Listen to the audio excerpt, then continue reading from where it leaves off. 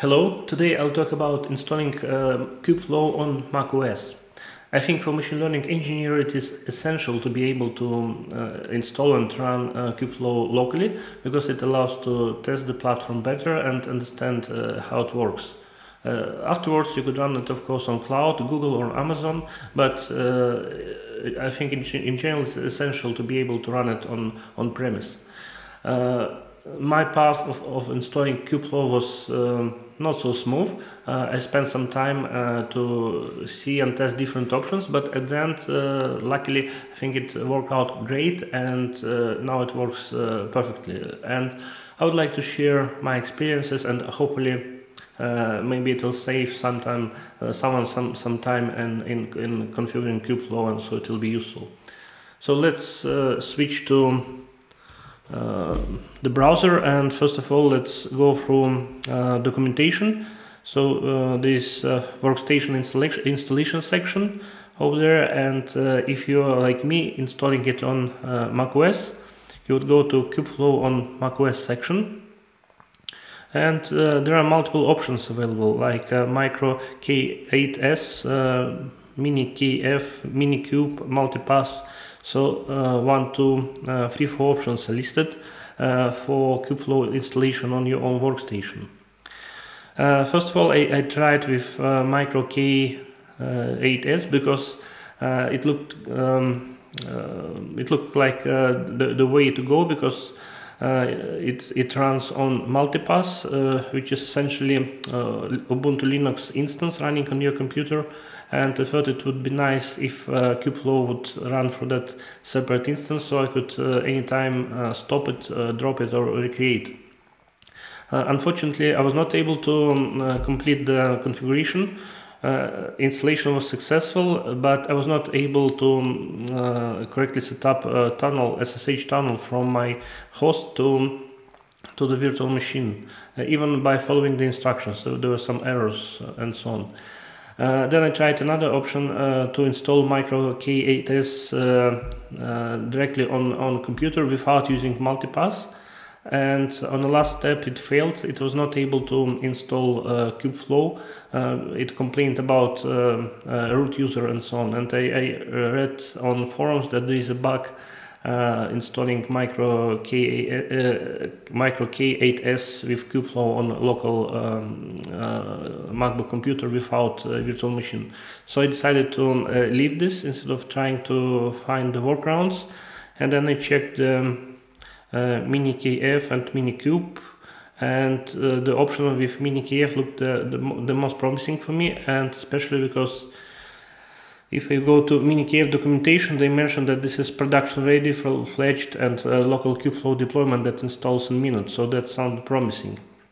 So then I went and installed uh, uh, Vagrant and uh, Oracle VirtualBox and on top of that luckily uh, quite fast and in quite it was quite simple to install kubeflow so probably I should start with this option first instead of um, uh, micro, micro K8s but on the other hand uh, now I'm able to compare uh, both approaches and I would tell you that uh, with uh, if you would go with mini KF it's uh, way easier to start up Kubeflow and it's easier to stop it and start it it stops and starts faster than based on my tests comparing to another option I mentioned. Uh, Kubeflow, uh, it's a cloud product, and if you run it locally, it needs some uh, quite a lot of resources. So you need at least 12 gigabytes of RAM, uh, two CPUs at least, and uh, 50 gigabytes of disk space.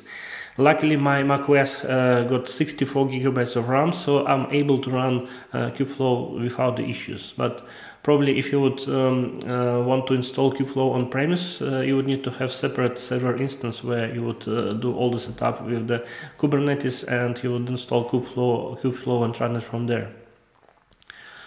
Okay, so uh, as I mentioned, I installed uh, Vagrant, VirtualBox, and then uh, the rest of the process was quite straightforward. I actually uh, executed uh, command Vagrant init uh, arrikto minikf to get the image, and then I executed Vagrant up, up to create the image uh, locally with um, all this support for Minikube. And then you go to to the browser and from there you provision your instance and you, it, it all gets up and running for you. So if um, I'll go through uh, the way from the history of my uh, uh, commands, the, the, ones that I was executing. So first um, I was running vagrant ini, init arrikto mini kf and you get uh, the image set up on your machine.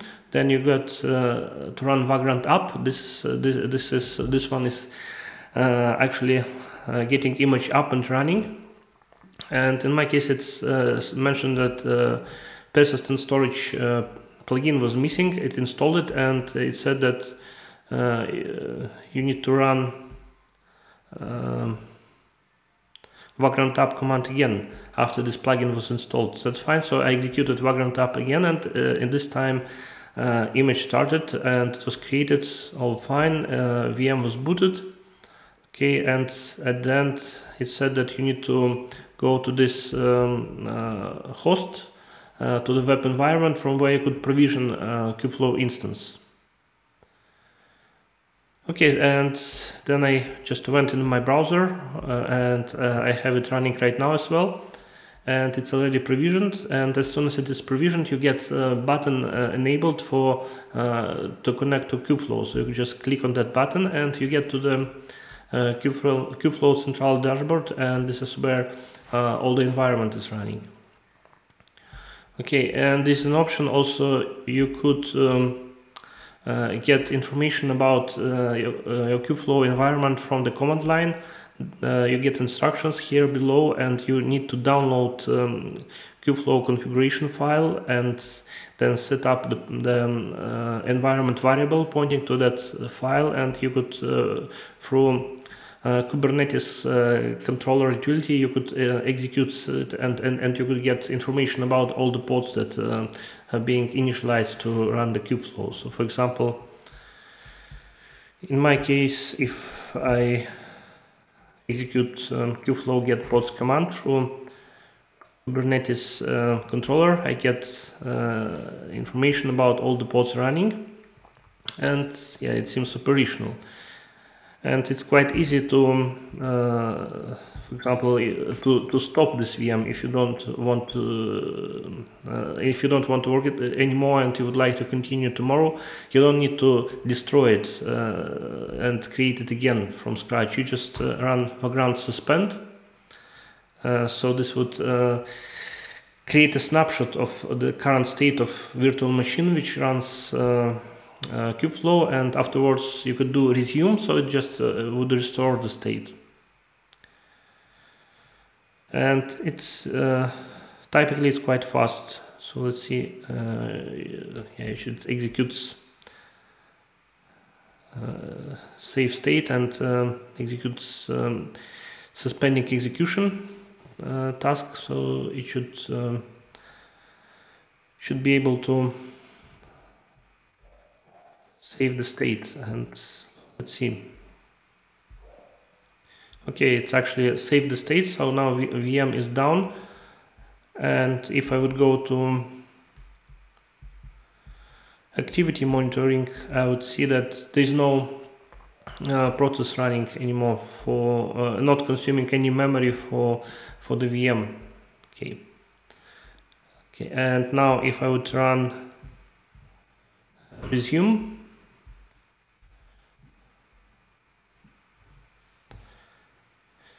it says that VM is resuming, okay, and we see that the process uh, that it's, is related to uh, VirtualBox machine is uh, up and it, it gets uh, memory assigned. So it's probably uh, around 20 gigabytes will be assigned to that process when VM will be up. Okay, it's 11. 12, 14, and in, in a few seconds it will be up.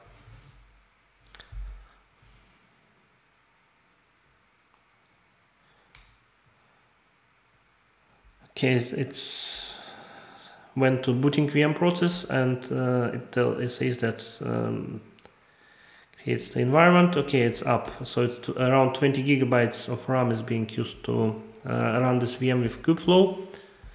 Now if I go to to the host which controls uh, minikf instance, I see that Kubeflow is operational and I can open the dashboard.